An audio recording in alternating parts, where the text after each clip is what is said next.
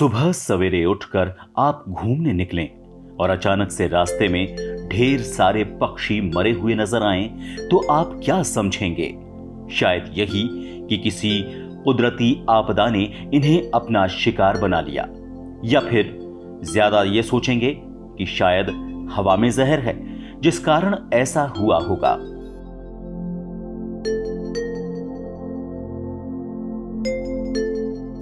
इसके बाद अगर यही घटना हर साल किसी खास महीने में होने लगे तो आप क्या कहेंगे?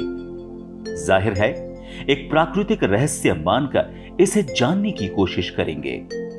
ऐसा ही एक रहस्य असम के एक बेहद ही सुंदर और छोटे से गाँव चतिंगा का है।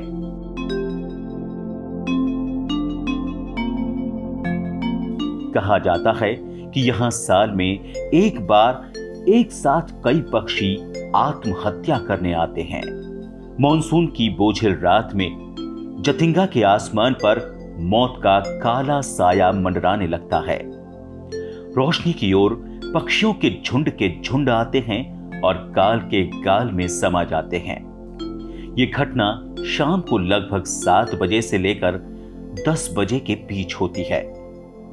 यहाँ सबसे आश्चर्य की बात यह है कि कोई अकेला पक्षी आत्महत्या नहीं करता, बल्कि सामूहिक रूप से सभी पक्षी आत्महत्या कर लेते हैं।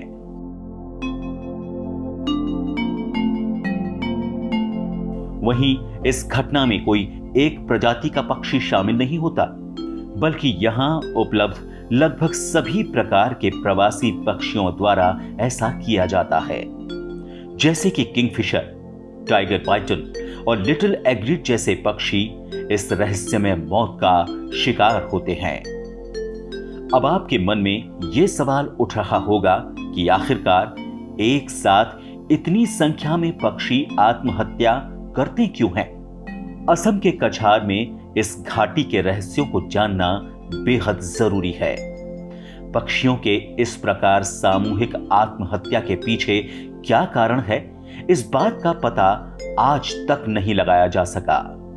कई पक्षी विज्ञानियों का मानना है कि इस दुर्लभ घटना की वजह चुंबकीय शक्ति है। जब नम और कोहरे भरे मौसम में हवाएँ तेज़ी से बहने लगती हैं तो रात के अंधेरे में पक्षी रोशनी के आसपास उड़ने लगते हैं। यह ऐसा समय होता है जब वो मदहोशी में होते हैं और तेज़ी से उड़ने के दौरान वो आसपास पेड़ और दीवार से टकराकर मर जाते हैं। वहीं दूसरी ओर स्थानीय निवासी इसे भूत प्रेत की बाधा से जोड़कर देखते हैं। हालाँकि इस बात का पता लगाने के लिए कई शोध भी हो चुके हैं, परंतु प्रकृति के इस गूढ़ रहस्य के बारे में अभी भी ठोस रूप से कुछ नहीं कहा जा सकता। ये रहस्य एक रहस्य बनकर ही रह गया।